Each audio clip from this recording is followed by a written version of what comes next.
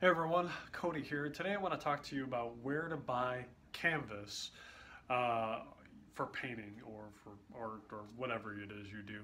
Today I'm going to talk about where I buy the canvas and the specific brands that I use um, and why I use those um, for the reasons I do. So first let's talk about uh, so we're going to talk about stretch canvas. So that is canvas that's already on a frame, kind of like this. Um, as far as rolled canvas, I just buy rolled canvas from Blick. So rolled canvas or unstretched canvas, that's the canvas that kind of comes on a roll. Give me a second, I'll show you. That is this bad boy right here. So that is this uh, rolled canvas. Essentially is just canvas that has not been put on a stretcher. Um, so it's flat, right? And it's easier to do some of the scrape paintings that I do, especially large ones, on, uh, on stretched canvas. So I buy it from Blick. I'll put a link in the description. If, uh, if there's any links in the description to the places I mentioned, there'll probably be affiliate links, which essentially just means that if you buy something from those sites, then I would get a commission. Um, it's not going to be a lot, but it helps out, keeps the channel going, helps me continue to make art. Now, so that is uh, you know, unstretched or unrolled canvas. I buy unrolled canvas almost exclusively from Blick. Okay, so that's very, very straightforward, very simple. Um, I generally buy uh, rolled canvas that's already gessoed or gessoed, however you want to say it. Um, so it already has like the, you know, the finish on it. Um, it is cheaper to buy ungessoed, um, you know, canvas and essentially you could just use cotton duck is what it's called uh, you can get like cotton duck canvas from like Michaels or, or Joann Fabrics or some kind of fabric store, right? And you could essentially just use that and then either gesso it yourself or just put uh, white paint over it or your background color. You could just paint directly on it. The, the gesso just helps the paint adheres, but again, that's your choice. So I use that. Now let's talk about uh, stretch canvas. We'll talk about where I get it, uh, both online and off, and then we'll talk about the brands. So let's talk about the places first. In like in, you know, in physical, like I buy at physical re uh, physical retailers. I tend to just buy it from two places, and that's again going to be Blick because there's a store that's about 45 minutes from here. It's a little bit of a drive, but I, I really like their products. Um, so Blick uh, and Michaels. And I've used, you know, I've used some different, you know, brands from the different companies and stuff like that. Uh, but essentially from buying it retail, I tend to only buy Michaels and Blick. And here's the reason why. Blick, I really like their quality and they have a wide range of quality. So they have, you know, student and then professional and then premium. And the professional premium grade products just tend to really be decent products, uh, whether it's their frames or you know the the acrylic wood squares or the canvas or their paper. Like just all of their products, from what I've seen, tend to be pretty high quality. So I really like them, and I just like them as a company, and the prices are are pretty fair. So I would say you know I buy whatever I can get out to you know to them uh, because they're in Tempe for me because I'm in Arizona. And if whenever I can get out to them, I try to buy a lot of stuff from them at once because it's a little bit of a drive. Uh, but anyway, I buy that from them physically, and then uh, you know I have Michaels, the craft store here, not too far from here, a few miles, um, and I also buy canvas from them because I can tend to I, I like supporting Michaels just because uh, again they have really good prices and they tend to have sale on canvas almost all the time. I mean, like anywhere from 40 to 70% off. So, you know, a decent sized canvas, you know, generally I'll use like 48 inches by 24 or 48 by 30 and those canvases I can usually get like 50 to 70% off. So I mean, it drops the price down to like 30 bucks a canvas or 20 something. So it's a really great deal. So that's why I buy it from Michaels um, physically because it's right down the street. And I hate waiting for canvas to come in um, through Amazon or online retailers. I just, I'm impatient. That's, you know, it's one of my character flaws. So I tend to buy it, you know, when I can. Plus I have a van, so I can just stuff a bunch in the van and then bring them home and now I've got them. So anyway, so those are the two places I buy it, uh, it like in real life. I've tried Joann's, I've tried Hobby Lobby. Um, I just don't like the the price versus the quality. Just for me, isn't there. Um, they're decent quality, but Joann's doesn't have a lot of selection. Uh, Hobby Lobby, same thing. Their selection just isn't that great as far as the you know the wide range of canvases that they offer. So I've just kind of always been disappointed when I went there. Not saying they're bad, but I just don't like the quality or the uh, like the selection. There it is. So that's just me. And uh, I have used some of the other brands that they offer, like the that these stores offer, like Winsor Newton. Winsor Newton is good. It's it's a good quality product, um, but I just think for the price again, the canvas only gets so good, right? Where it's like, okay, yeah, you can buy these really expensive canvases and you could charge more for it, but if the canvas isn't really offering that much more in you know in the way of what it offers, to me it just comes to a point where it's like, okay, yes, you can buy super great, amazing canvas, and if you can get away with charging thousands for it, great. I, I give you kudos. But at the same time, a lot of people, you know, as long as the canvas is good good condition, they don't really care too much about you know what grade of brand it is and, and stuff like that. So honestly, it's really about the piece itself than it is the canvas. So as long as it's a good condition and you know it's a decent one that's going to hold up, that's got some cross braces or you know something like that, that is the important part, at least for me. So and and I've sold paintings now for hundreds, you know, and nobody's really said anything about the brand because a lot of people who buy art they don't even know better and it's not that you're giving them bad quality it's just that you know trying to charge more for a, a better uh, frame isn't going to make a lot of sense to a lot of people who buy art anyway. At least not to people who aren't like over the top collectors, but just the average person spending a decent amount on art. They don't know anything about the frame, so there's no point in overcharging for the frame or just buying expensive frames just for the heck of it, unless you can get away from, you know, if you can get away charging that, great. Hey, I wish you all the best. But for the average person, I'm going to say, you know, these Michaels canvases are great. I've never had a problem with them. Sometimes they warp a little bit, but all brands that I've ever worked with warp. So it's not like they're, it's just them, right? So anyway, locally, I, will buy from Blick, and I will get Blick's line of products, and then I will buy from Michaels and buy Michaels' line of products because both of those I've had really good results with, and I really like them. So Michaels mostly because the price and the availability, Blick because the quality. I just really love their quality. All right, so that's that's physical retailers. So you can buy their stuff online. Um, you can buy from Michaels online, and you can buy from Blick online. Um, so you can get the stuff online and i don't know if michael ships to people's houses i know they ship to stores so you can have it shipped to a store that's close to you um, blick i believe will ship to your store or to your house if you buy a certain amount so just keep that in mind so let's talk about online okay so online I, I will buy from Blick um, online sometimes. I have before. The only thing with them is that they charge uh, like freight fees. So that's the only reason I don't like to commonly buy from them online.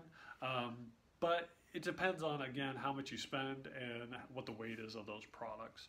So what I've also bought from is Jerry's Artorama online. But there's, it's very niche on what they have. So they have decent prices on the products that they have, but their selection isn't as good as say Blick. Um, but I will say the biggest culprit that I buy from or have been buying from more often is Amazon.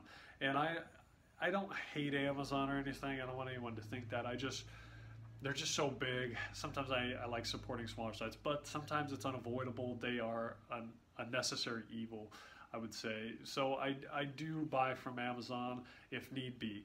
And here's why. This particular canvas right here is by a company called Edge. Now, Jerry, Jerry's Artorama is the one that sells Edge, so I don't know if if it's a Jerry's Artorama brand or if it's just a deal that they have with Edge. But this other big canvas back here is a uh, three foot by six foot. It's the biggest size that I've ever done as far as lengthwise, and that is also Edge. The only problem I have with Edge, and I'm going to show you. I'm going to take this bad boy now. So this is uh, this is a Michaels frame, okay, and I really like again I really like theirs.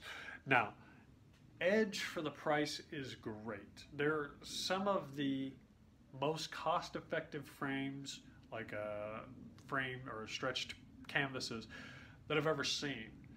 The caveat is this. The, the wood is very light, so it is susceptible to warping. Not only that, there is no room for a canvas key in these corners.